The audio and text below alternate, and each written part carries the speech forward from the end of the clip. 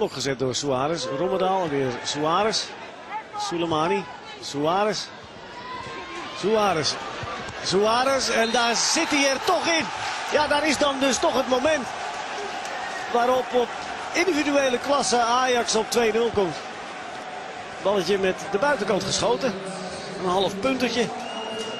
Maar het is Gentenaar te machtig.